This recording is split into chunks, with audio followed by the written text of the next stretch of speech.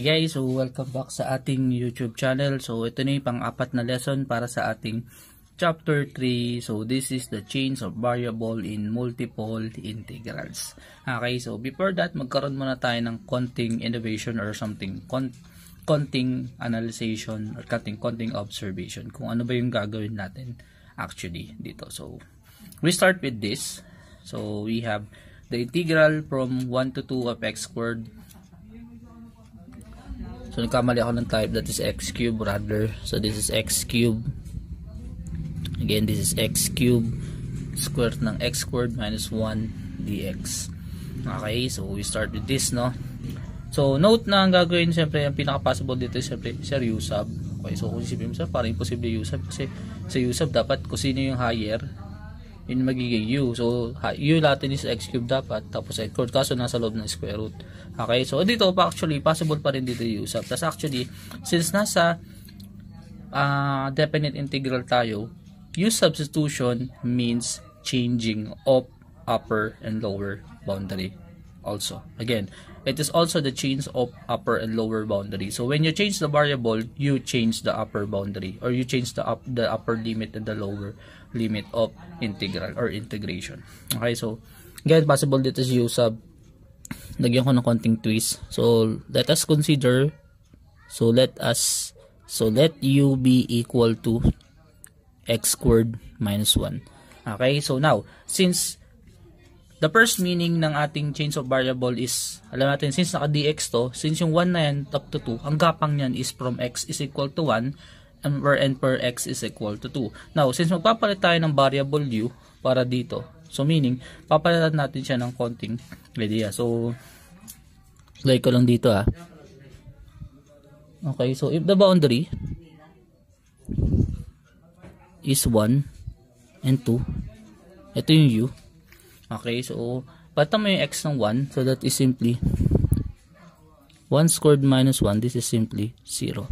Next, this is 2 squared minus 1, this is equal to 3. So, meaning, yung bagong boundary na natin is from 1 to 2, ang boundary na is from 0 to 3. Okay, so yun yung unang meaning. So, next is, syempre, from here, uh, syempre, ang goal natin is ma-represent natin x squared. So, this is just simply u plus 1 is equal to x squared. So, symmetric ko lang. So, this is just x squared is, is equal to u plus 1 or simply x is equal to o sabi, okay na yan. No? So, x squared is equal to u plus 1. So, yan na. x squared is equal to u plus 1. So, check ko na lang din na. Hmm. Okay, okay, okay. So, tama na yan. x squared is equal to u plus 1. Note that this from here, yung du pala rather, so du is just equal sa 2x dx. So, saan saan nakuha yan mula dito? Again, kunin ko yung differential both sides. So, this is the, differential ng u is du, differential ng x squared is 2x dx, differential ng negative 1 is 0 dx. So, ayan siya. So, meaning meron 2x dx na nakalagay doon. So, again, compute natin siya using u sub. So, by u substitution, okay, so by u sub, we have the integral from 1 to 2 ng x cubed square root ng x squared minus 1 dx. So, I think siguro nakita mo na sir, parang imposible pa yung gagawin mo. So, actually, pwede pa, imposible pa. So, actually, kailangan din na integrating factor or ng balancing factor na 1 half. Okay, kasi meron dyan 2. So, lagay tayo ng 1 half dito. So, this is just 1 half. Then, integral from 1 to 2 tapos paghihiwalayin ko, no? So, since may x squared ako doon, nakita mo, no? x squared is equal to u plus 1. So, paghihiwalayin ko siya. So, hiwalay ko yung x squared. Tapos, ito yung square root ng x squared minus 1. Tapos, didikit ko lang dito yung 2x dx. Okay? So, kung napapansin mo, kaya ko nang palitan isa-isa yan. So, paano? Yung x squared, kaya kong palitan sorry, na ano ko digay ako sa hino soft drinks. So yung x squared is palitan ko na u plus 1. Yung square root ng x squared minus 1, pabalit ako ng square root of u kasi x squared minus 1 is u. Then yung 2x dx siya si du. So again, by change of variable, so gagawin kong red no. So this is just 1 half. This is change of variable from 1, this is magiging 0. From 2 magiging 3. Okay, yung x squared ay mapapalitan ng u plus 1. Tandaan yun. Okay, yung square root ng x squared minus 1 is papalitan na natin ng square root of u. Then yung 2x dx papalitan natin ng du. Okay, then arrange lang natin konti, multiply natin sila dyan. So this is just equal sa 1 half integral from 0 to 3. That is u raised to 1 half, no? u raised to 1 half times u, that is u raised to u raised to 3 over 2. Okay, then plus u raised to 1 half. Kasi 1 times square root of u is square root of u pa rin. And this is just du. So, du rather. Okay, next is applying the power rule. Okay, then simply, syempre, dahil bago na yung boundary, hindi natin kailangan ibalik sa dito ah. So, sa x ah. So, syempre, bago na yung boundary. Okay, so, ano ba to?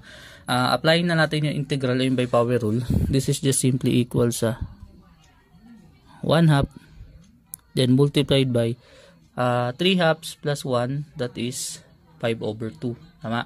5 over 2, so this is just 2 over 5 So, this is just 2 over 5 raised sa 5 over 2 plus 1 half plus 1 is just 3 over 2. So, that is 2 third plus 2 third plus u raised sa 3 over 2. Then, the boundary is from 0 to 3.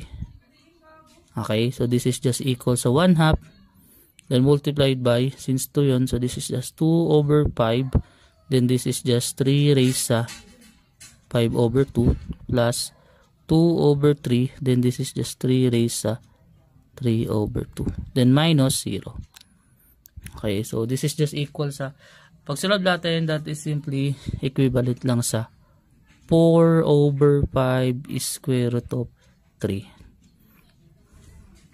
okay so ngayon check natin using yung calculator.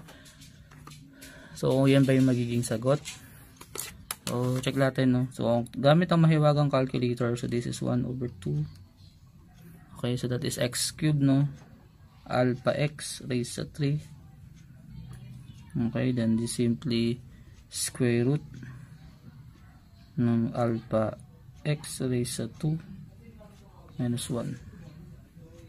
Okay, so check natin, no? So, yun, maghihintay pa yata tayo ng after 10 years. So, habang inihintay natin yung sagot niya, no, eh, matagal talaga yan actually pag medyo mahirap. Ayun, 4.8495. So, meron ba siyang equivalent? So, wala naman.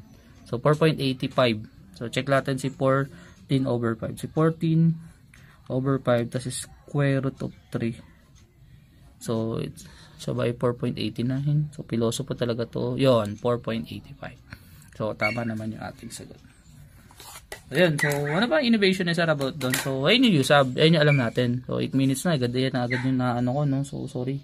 So, ang goal ko talaga is something na, nung naglet tayo ng U, nagkakaroon tayo ng mapping or nagkakaroon tayo ng change of plane. So, kumbaga, pinalta ko ng U, napupunta sa U plane. From X plane, napupunta siya sa U plane. So, ano ibig sabihin ni Sir from doon? Okay, so now, ang nangyari is something na, yung interval, na 1 to 2 is napunta kay interval na 0 to 3. Okay? Ayun yung una kong ano. Okay, so next is something na uh, anong gagawin natin? So, if we let x, so kung napansin mo no, kung naglet tayo ng u is equal to x squared plus 1, so ito yun no. So, from here, so nilet natin na si u is equal to x squared minus 1. So, we only get x squared is equal to u plus 1. Okay, or simply, x is equal to square root of u plus 1. Okay, so ngayon, kung napapansin mo, this is a function of g, function of u. Again, kasi variable yun eh. So, this is a function of u. So, what if i-represent natin siya as x is equal to g of u, which is equal sa square root ng u plus 1. So, ayun yung nangyari. Okay, so again, yung ginagawa natin something similar lang dito. Ito ay something intuitive. So, ini-explain ko lang siya further. So, by further analysis. So, magkakaroon tayo. So, ayan, nagkaroon tayo ng g of u.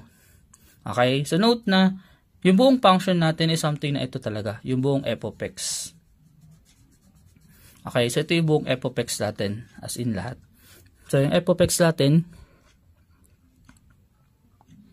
is yung nasa loob which is x cube square root ng x squared minus 1. So, pag nilagay ko yung g dyan, so this is f of g of u. ano mangyayari? So, this is just simply square root ng, so this is just square root ng u plus 1 raised sa 3. Then, ito ay just square root of. So, yung x squared minus 1, this is just square root of u. Okay? Or simply, this is just simply u plus 1 raised sa 3 over 2. Then, this is just square root of u. So, ayun nangyari.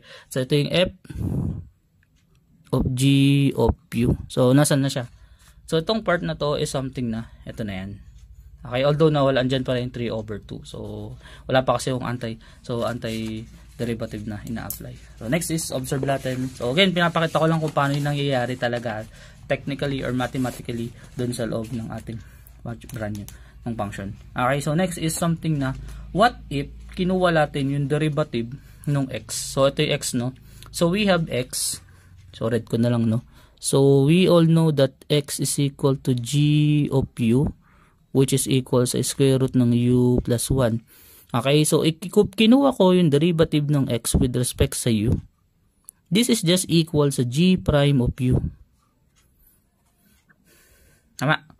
Okay, the next is something na anong integral o ano yung derivative ng square root ng u plus 1. So, note ng integral, ang derivative niyan is simply equal lang sa 1 half then u plus 1. So, gumamit ako ng power rule sa derivative ng raised to negative 1 half du.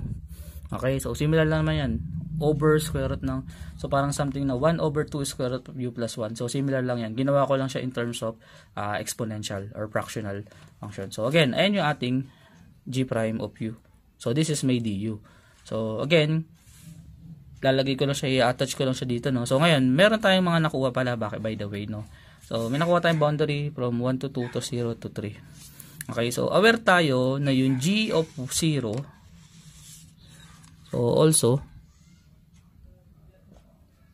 ayun mali na ako spelling also we all know that g of 0 is equal to 1 so bakit sir bakit hindi mabuti bakit g of 0 is equal to 1 pag pinalitan ko so kasi ito yung g no ito yung g so g of 0 so that is g of 0, that's 0 plus 1, that is simply 1. So, yung x is 1. So, tama naman. Pag 0 si g, pag 0 si yung sa g, 1 siya doon sa kabila.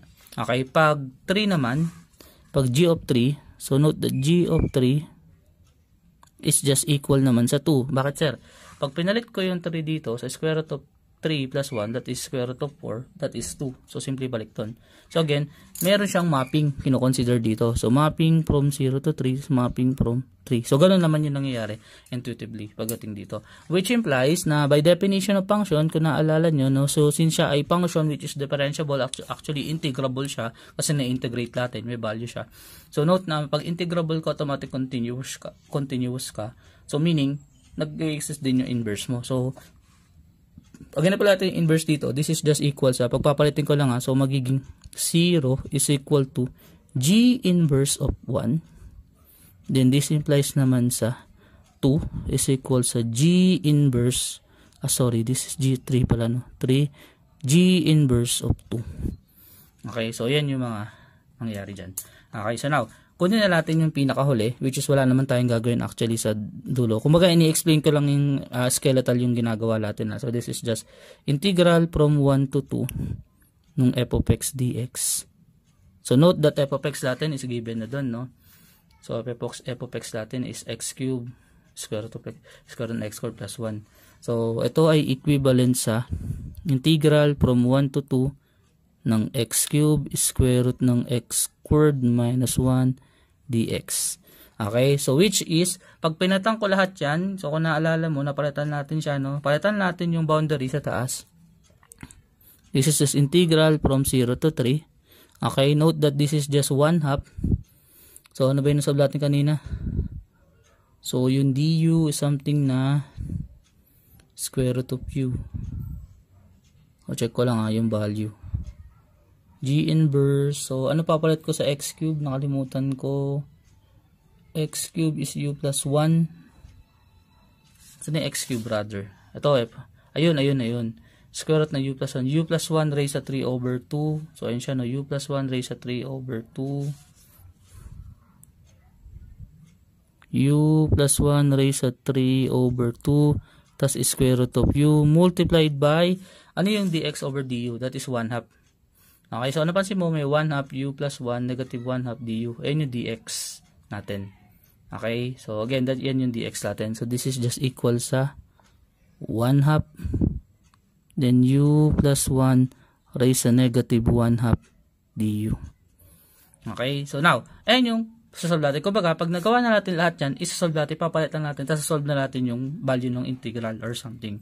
Okay, so now, ano ba yung pinopoint out ko? Ang ibig sabihin ko lang, yung integral from 1 to 2 nung f of x dx natin can be iterated as g inverse ng g inverse of 1, g inverse of 2. So, paano yun? Kasi, yung 0 natin is g inverse of 1, yung 3 natin is g inverse of 2. Okay, in which, ano naman tong nasa loob na to? Ito yung f of, ito yung f of g of u. Then lastly, ito naman yung g prime of u du. So, ito yung ginagawa natin, literal, pag nag-change of variable tayo, marami tayong kinoconsider. Nag-change ng limit, nag-change ng function, nagkakaroon tayo ng inverse function, may application ng inverse function, may composition sa loob, may differential pa. Okay, so yun yung totality nung ginagawa natin. Now, proceed na tayo dun sa topic natin for today. So, introduce ko na yung ating chains of variables. So, again, this is just the way para ma-introduce sa'yo ano ba yung gagawin natin. Ano ba yung ginagawa talaga ng chains of variable na yan.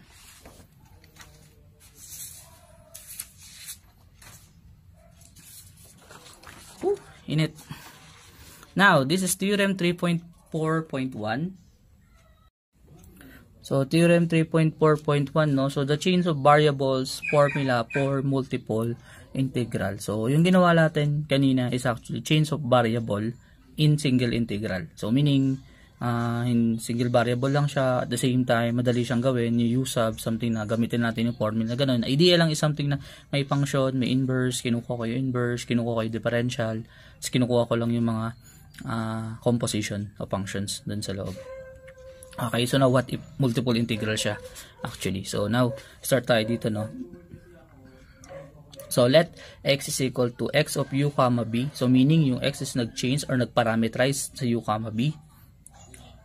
And y is equal to y of u comma p. So define a one-to-one -one mapping of a region r squared in UB plane. So ayun nga no, from xy plane papunta siya sa UB plane.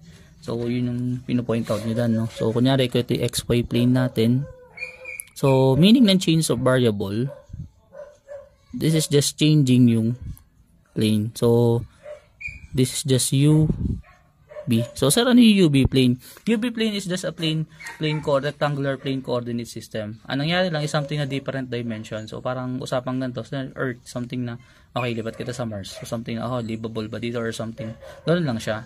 Okay, so, oh, lipat kita dito, pero iba itsura mo pagdating doon. So, iba yung nagiging uh, gawin mo. Okay, iba rin yung mga properties mo.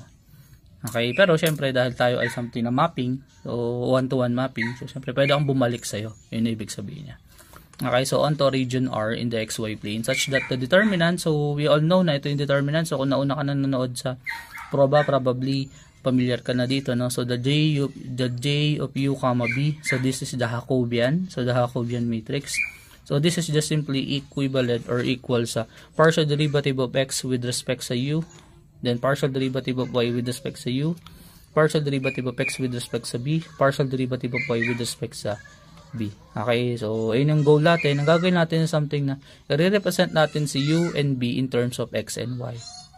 Again, i-represent natin si u and b in terms of x and y. Then kunin natin yung partial derivative niya ng with respect partial derivative ng x with respect sa u then partial derivative ng y with respect sa u. Okay, and also doon sa kabila. Pag two-dimensional lang tayo, 2 by 2 determinant. So again, this is never 0 in R prime. So since nagbago tayo, so kung ito yung region R, pagdating niya dito, this is just region R prime. So kumbaga, nagbago na ako ng region. Yun yung binabanggit ko na nagbago. Nagbago ako ng UV plane, no, nagbago ka rin ng region. Kasi iba na yung itsura mo ng region doon. So this is just something na parang uh, alam mo yung term pero mamaya pag naalala ko sasabihin ko okay so now anong gagawin afterward so after ko kunin yung Jacobian matrix o yung Jacobian determinant uh, kukunin ko yung integral over the double over the region R nung f of x y dA of x y. So meaning ang dA of x y lang something na ito pa rin yung dx dy ah. Okay, so ano na mangyari? This is just equivalent sa double integral along the region R prime of f of x of u comma b time comma y of u of y of u comma b times the absolute value of the determinant of u, Jacobian of u comma b then the derivative of a u comma b. So meaning yung differential dito is in terms of x and y, differential dito is term in terms of u and b.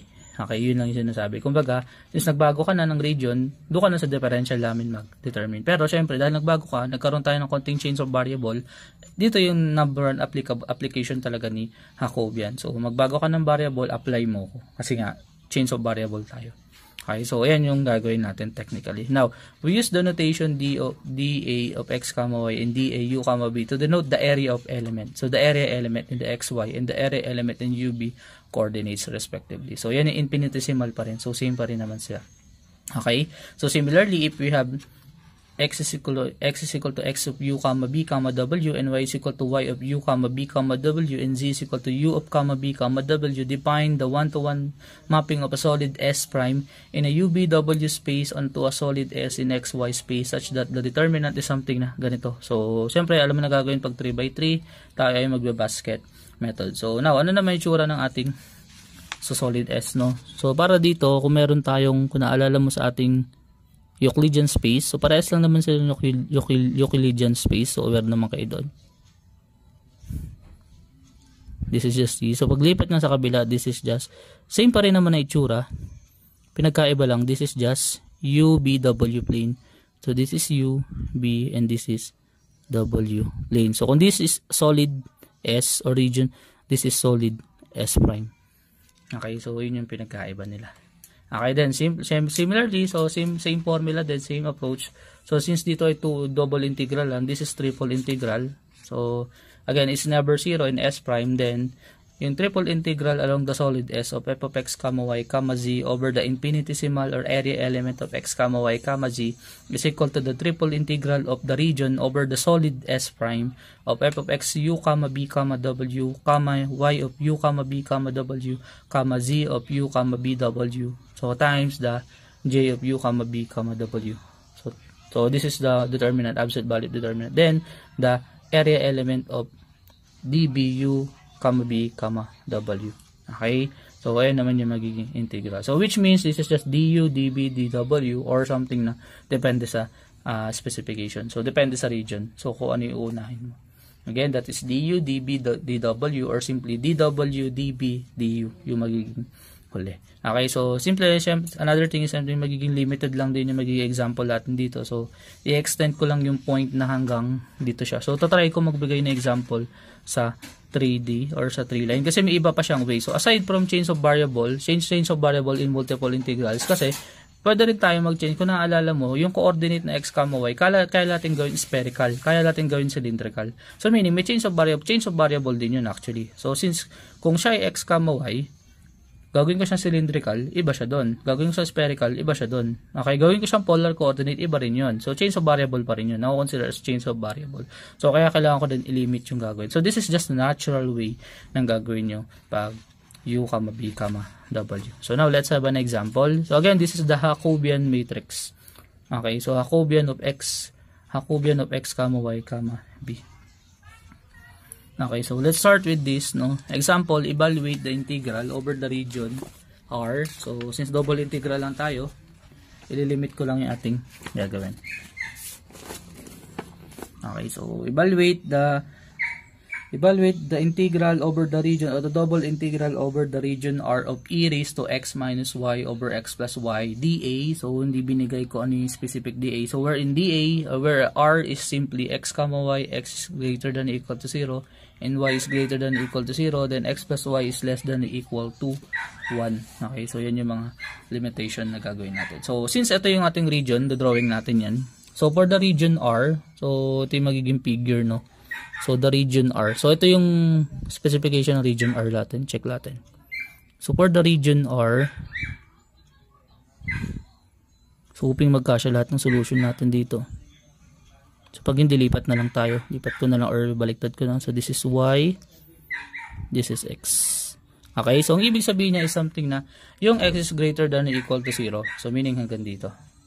Okay, yung y is greater than or equal to 0. So meaning papunta doon. So hindi sila abot sa dito sa left side, dito sa downward, this side. So dito lang sila usually lahat.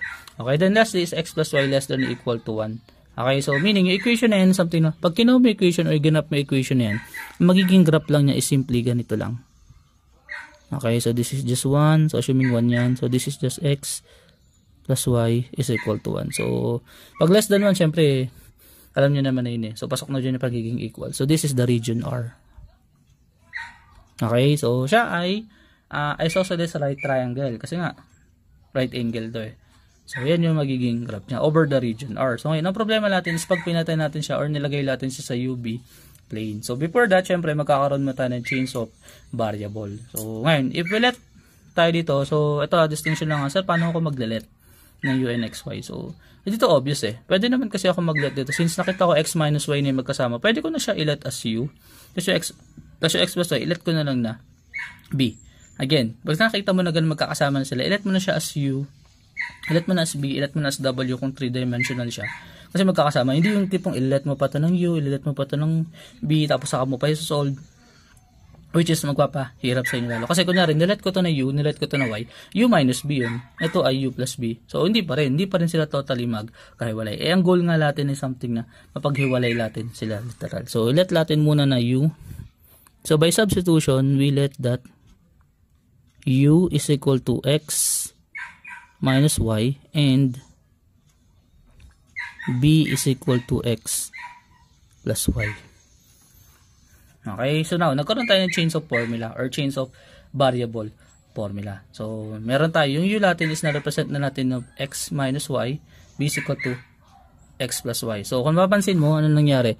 Yung f of x y natin is equal sa e raised sa x minus y over x plus y. Ngayon, this changes from f of x of u comma b comma y of u comma b. Okay, this is just equivalent lang sa e raised sa u over b. Okay, so yun yung naging transformation. So at least may madali na tayo. Okay. Okay, so now anong gagawin natin dito no? So syempre, i-represent natin siya in terms of x and y pa rin para dito. Kasi nga kailangan natin ma-represent siya sa different dimension. Okay, so ano bang gagawin natin dito? So, gawin natin, represent natin si x in terms of u and b, i-represent natin si y in terms of u and b. So, mula dito, pag nagmanipulate tayo, no, kunyari, inad natin sila. So, pag inad natin, ano mangyari? So, this is just u plus b is equal to 2x. Or simply, what is x? x is just equal sa 1 half ng u plus b. So, ayan yung una. Okay, now, paano pag dineduct? Pag sinubtract naman natin, this is just u minus b is equal to so pag sinubtract no, negative 2y. I think. So, divide natin both side by 2. So, this is just y is equal to 1 half times, mauna na yung b minus u. So, kasi minultiply ka na yung negative sa loob. Okay, so from u, u minus b divided by negative 2. So, labas ko na yung 1 half, that is b minus u. So, ayan yung x and y natin in terms Okay, so ngayon, ano ba yung magiging change of variable niya in terms dito? So, since ito yung region R, ano yung magiging itsura naman niya pagdating dun sa ating region R prime? Okay, so, paano ba natin mag-change yung R prime natin dito? Actually, so, check natin na. Okay, so, ang obvious dito na para ma-change natin yung variable or something na hmm, check ko lang ah.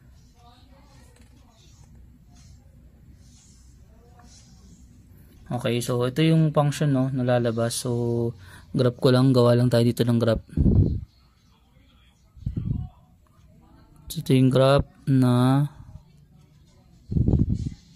ito yung graph na U plane ito yung B plane okay so ano ba nangyari niya pagdating niya sa U plane saka sa B plane so check lang natin ah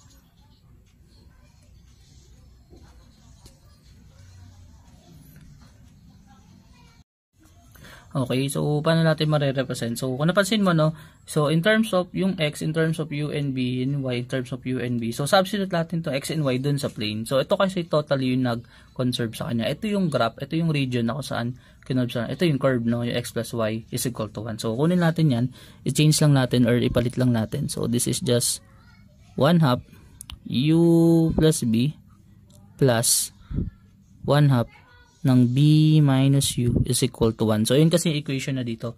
So, sa R, ito equation x plus y is equal to 1. So, kinocover na yun, ayun yung region. So, ano naman yung region na dito? Ano itsura? So, again, note, kung triangle sa dito, triangle din siya dito dapat dito. Kung ako ay isosceles triangle dito, isosceles triangle din ako. Isosceles right, isosceles right din ako dapat dito. So, since ito lang yung kinukuha ko, ito lang equation, dun ba lang isa-substitute?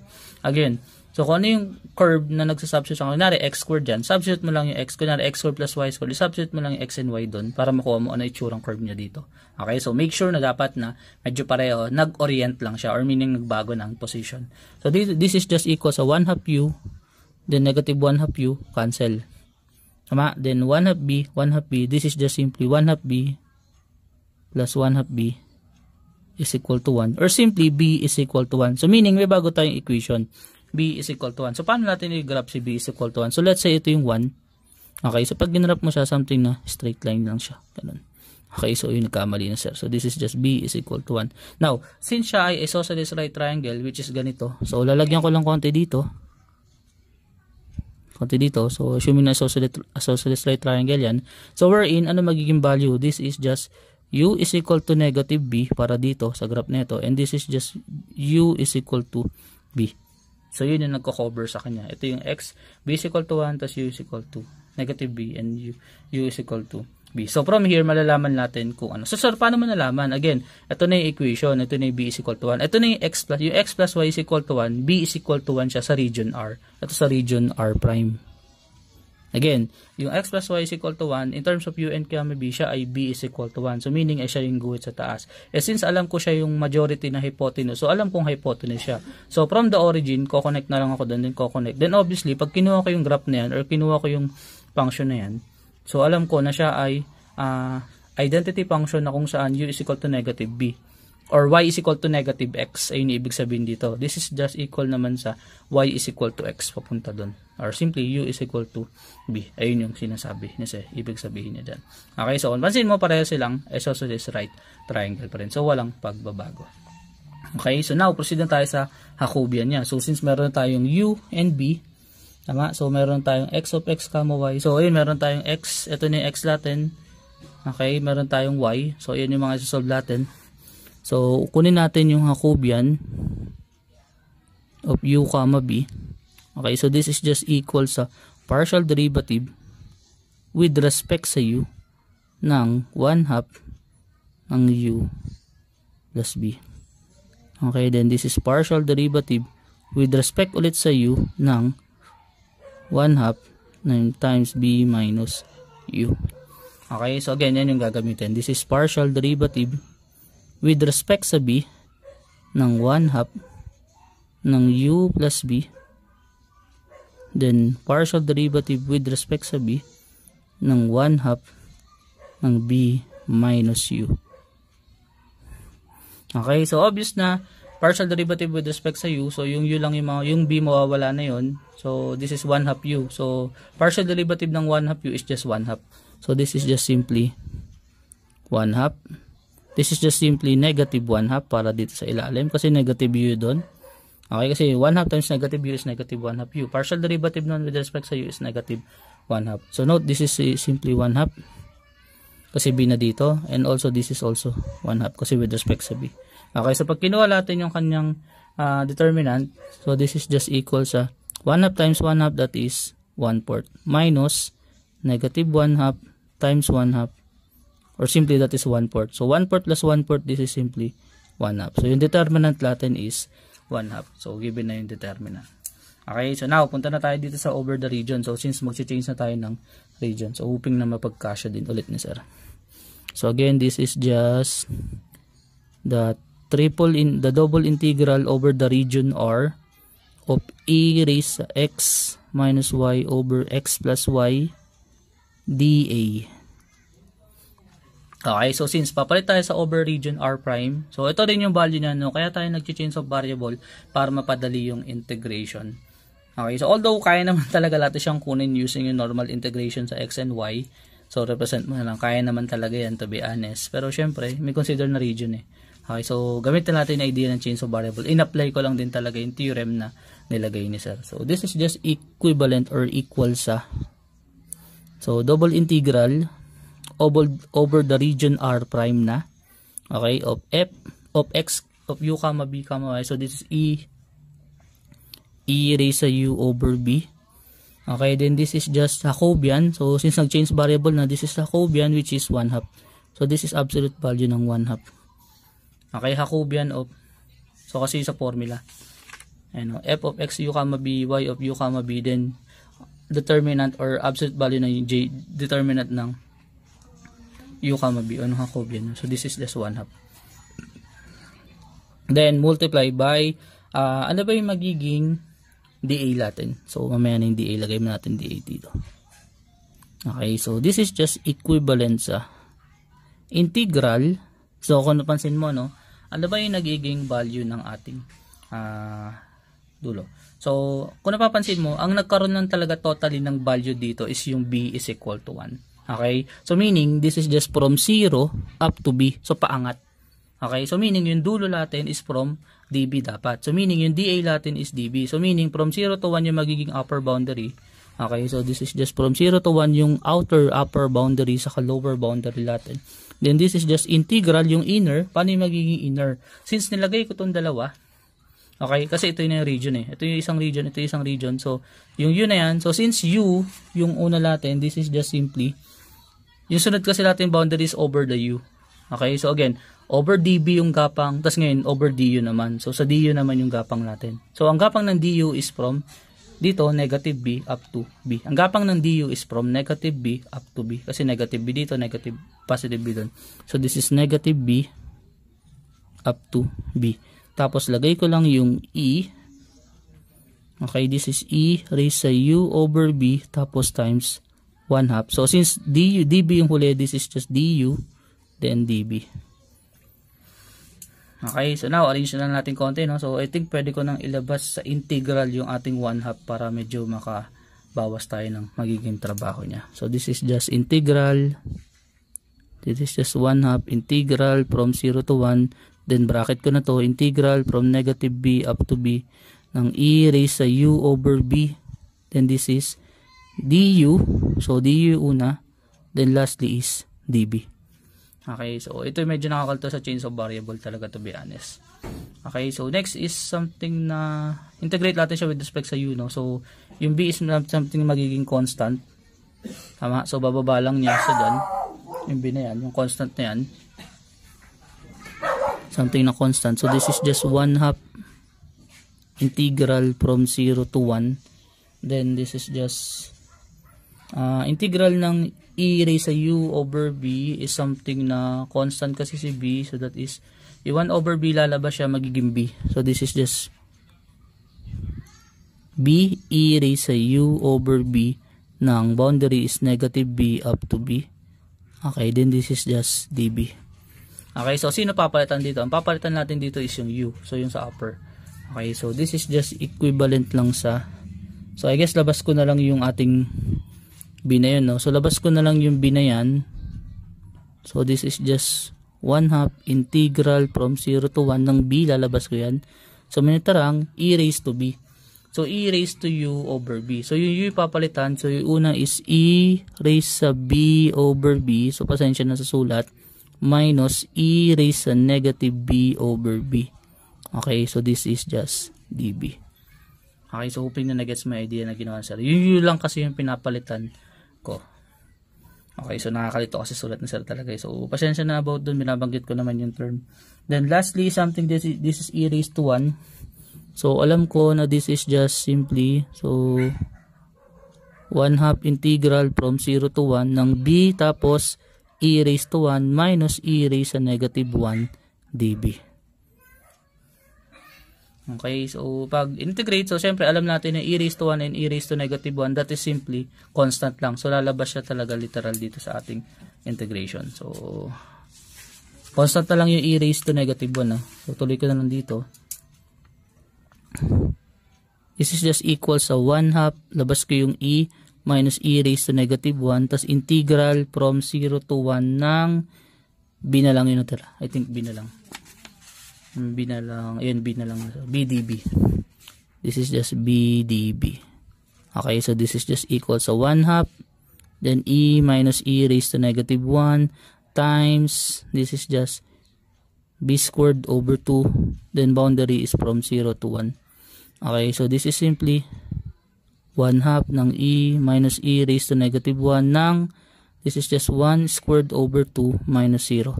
So this is some this is simply 1 half. So 1 half times 1 half that is 1 fourth. So this is just 1 fourth ng e minus 1 over e. So arrange na lang natin konti. So this is just equal sa 1 fourth ng e squared minus 1 over e.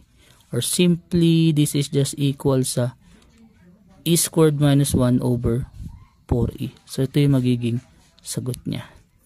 Okay, so yan yung ating magiging sagot. So, eksakto na yan. Okay na sa akin actually talaga yung may e. Okay, so kung gusto mo yung eksakto, palitan mo lang na e. So, substitute mo lang siya sa calcu, ay na yung magiging sagot. So, note, pakitandaan yung mga ginagawa natin dito o yung mga nangyayari. So, since siya yung nagbabag, yung nagpapatong o yung parang nagre nagbibigay ng region talaga, kung ano yung equation na yun, yun papalitan natin yung UNB, o ng X and Y in terms of UNB. Tapos siya yung magde-determine ng ating pinakasasakop sa equation. Tapos simply, i-orient mo lang siya same doon. So since alam ko na isosceles right triangle siya, isosceles right triangle din dapat siya dito. Then saka mo gawan ng close. Close mo lang yung figure kasi hindi natin kaya alamin to eh. So again, this is just a close. So natansya ko na alam ko siya ay negative identity function. Then this is the identity function. Okay? So that's all in this video. Again, yung extent ng 3 by 3 is something na similar dyan. Similar lang dyan. So, something na, syempre, yung drawing, eh, hindi kasi talaga, kaya hindi ako na-example kasi yung drawing, kinukonsider yung drawing, paano natin siya magagawan ng paraan about that. So, again, thank you for watching. Hoping na may naintindihan at natutunan ka.